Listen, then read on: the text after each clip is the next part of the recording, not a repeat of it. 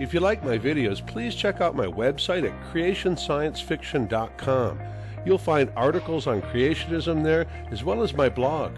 I also have a Creation Science Fiction Facebook page now, too. In this video, we're going to take a look at some of the absurd claims by Brian Thomas, a creationism salesman who works for the Institute for Creation Research. You can view some of my criticisms of Brian Thomas's other absurd claims at my website at creationsciencefiction.com. Young Earth creationists just can't seem to explain why we don't see any human fossils originating from the same layers as dinosaurs or other extinct creatures, so Brian's come up with a few excuses. Evidently, they had some creation research event, and the most popular question asked was why don't we find human remains in all the vast rock layers from Noah's flood? His response is though it's a popular question, it carries one big assumption. Oh, oh, don't say that word. The word assumption is a magic word for creationists. Anytime they're unable to explain something or refute what the other side says, they throw out the word assumption. He goes on to say, many assume. So, what he's saying is dinosaur layers don't really have to contain human fossils. Dinosaur fossil layers contain sea, swamp, and lake plants and animals, and mostly water birds. They have virtually no remains of land dwellers like dogs, deers, bears, and bunnies. Well, gee, maybe it could be that dogs, deers, bears, and bunnies weren't around for tens of millions of years until after dinosaurs went extinct.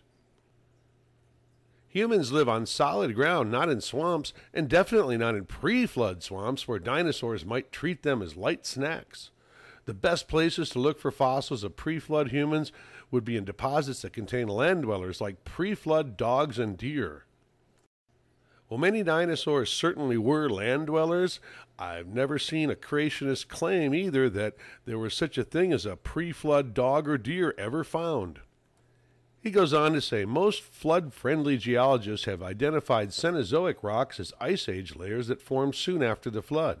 Others have recently reconsidered them to be flood deposits, so we haven't been looking for pre flood humans in rock layers we thought were deposited after the flood.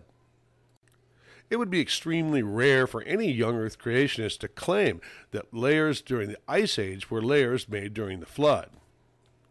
But even if they did, the problem still remains. Even though those layers contain human remains, they don't contain any dinosaurs. He goes on to blame the lack of objective workers. Evolutionary scientists might not admit a human fossil that's out of place with their man made view of history. In 2011, a team described a perfectly formed human foot bone, the fourth metatarsal. It came from earlier than expected layers. Remarkably, they decided that some kind of extinct ape had human feet. But that's not true. What they actually determined was that Australopithecine feet had evolved to walk upright like humans. In 1980, a report described human footprints at Laetoli in Tanzania. The evolutionary age for the track layer was over 3 million years, long before modern humans were supposed to have evolved. Therefore, researchers concluded that ape like human ancestors walked just like humans. They should have just admitted that people were walking before they expected. Well, people, as in humans, hadn't evolved yet. There's no evidence that people, as in humans, lived three million years ago. So, no, it's assigned to Australopithecus, a species that was alive at the time.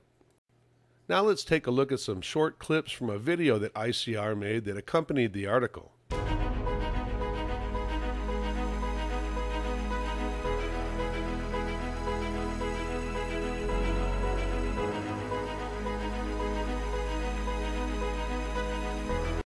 Once again, dinosaurs were land dwellers. There's absolutely no question whether or not dinosaurs were land dwellers.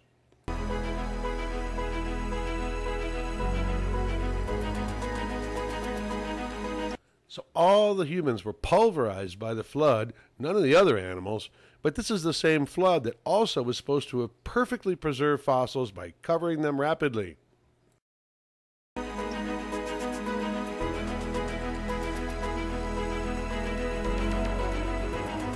So they need new scientists.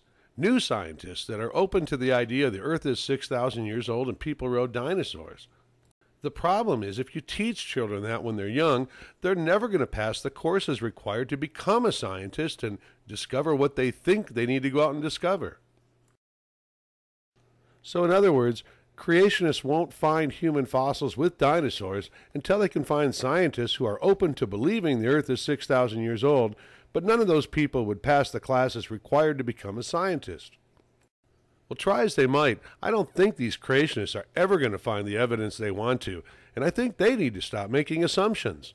Oh! You did it again! That's it! Wait! Oh, sorry, it was my fault that time.